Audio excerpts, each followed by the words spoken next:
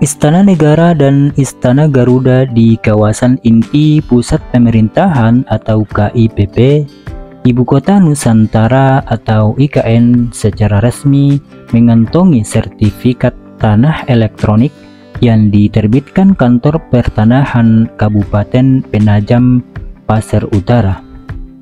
Sertifikat berupa hak pakai nomor 11 tahun 2024 itu tercatat atas nama pemerintah Republik Indonesia di mana diterbitkan di atas tanah berstatus hak pengelolaan atau HPL milik Otorita Ibu Kota Nusantara atau OIKN. Sertifikat hak pakai menjadi alas hukum untuk tanah tempat berdirinya Istana Negara dan Istana Garuda yang menjadi kebanggaan masyarakat Indonesia saat ini.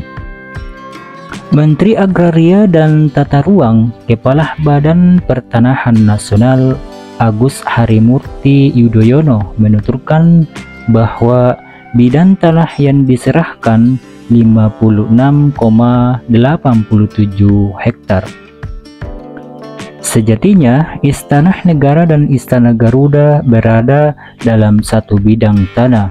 Namun, yang diresmikan lebih dahulu oleh Bapak Presiden Joko Widodo adalah Istana Negara. Sementara Istana Garuda yang ada di belakangnya masih dalam proses penyelesaian konstruksinya. Untuk Istana Garuda, sesuai penjelasan Presiden Jokowi, masih perlu waktu untuk penyelesaiannya, perapihannya, dan penyempurnaannya. Insya Allah kemudian pada saatnya oleh Bapak Prabowo Subianto setelah beliau dilantik sebagai presiden periode 2024-2029 tutur AHY. AHY juga mengatakan bahwa peresmian Istana Negara diharapkan dapat menjadi simbol menuju Indonesia yang semakin maju pada abad 21 ini.